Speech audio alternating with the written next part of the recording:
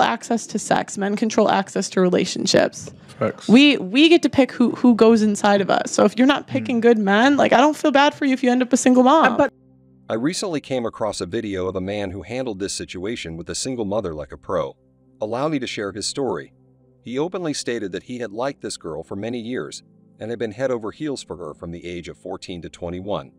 She didn't give him the time of day because he doesn't smoke, drink, go out, or have any other hobbies. You some people still believe that doing drugs is a requirement for having fun. Anyway, he eventually forgot about her and made a wiser decision. He decided to devote his time to his job, which takes up a lot of his time, and once he gets back home, he watches anime and plays video games. Our protagonist was aware that this girl was now a single mother of two children, so he simply moved on, as you can see, and thankfully, he enjoys his bachelor's lifestyle in Detroit, Michigan. It's cold there in November, and having nowhere to stay is a nightmare. This chick knew our protagonist had a car and lived in an apartment, so when she was about to be thrown out on the street, possibly because she hadn't paid her rent, she asked him if she could stay at his place with the kids. What the hell happened? This selfish girl rejected this man all this time, and now that she's in deep water, she wants him to save her.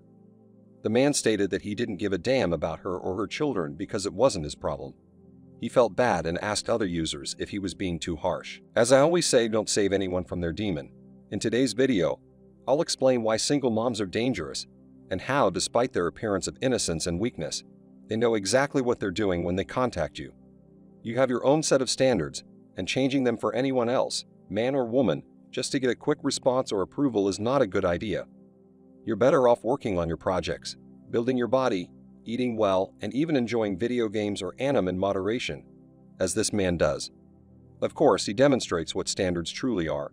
As a man, you have a lot on your plate without inviting someone who could cause a slew of problems. Assume you meet a girl, connect with her, and think she's good marriage dating material. She starts talking about her kids casually, and you freak out because you didn't see that coming. She appeared so young that she didn't give you the impression that she was a mother. At that point, you become nervous because you don't like the idea of raising another man's children, but she's so charming that you want to give her a chance. In that case, my advice is to avoid inviting her into your life. I'm not suggesting you cause a commotion, simply walk away politely. Consider adding someone else's bills to your own. I'm guessing you value your hard earned money too much to waste it on someone who has made poor decisions or has a difficult past. If you want to help others, simply donate to a charity. Why not choose a woman who has not yet had children? Ideally, a girl with no or low body count. You're dealing with someone who has emotional baggage as well as potential financial problems. And while we're told to be tolerant and open minded, that's not the same as being stupid. Marrying someone who has a lot of student or consumer debt is risky, and you may be ordered to pay for the mess she's made. Let me translate. She wants another man to pay for her poor educational choices. Surprise, surprise, a degree in gender studies is not very profitable and will not allow you to obtain a high paying job. And if you are such a strong, independent individual and even a boss, you must deal with the consequences of your actions. Maybe I'm exaggerating because not all women think or act like that, but the point is clear regardless of your solidarity, compassion, or circumstances. 80% of single parent households are led by single mothers, and the United States has the highest rate of children living in single parent households of any country on the planet. So I went online to look for some confirmation and came across singlemotherguide.com, which published an article with the same information. Fatherlessness is directly related to teen pregnancy and intercourse, Roughly 70% of teen pregnancies occur among women raised in single mother households. Consider that if you meet a single mother, she is likely to have lost her virginity at a young age, making her more susceptible to bad attitudes, shaming, and other bad habits.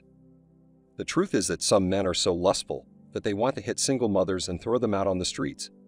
As a result, she loses her ability to bond and develops behavioral disorders. Even though it's unfortunate, that's not your problem. The same is true for girls who grew up without a father figure. She may be attractive, but if she grew up without a father figure, she is likely to be combative, disrespectful, and harmful to you.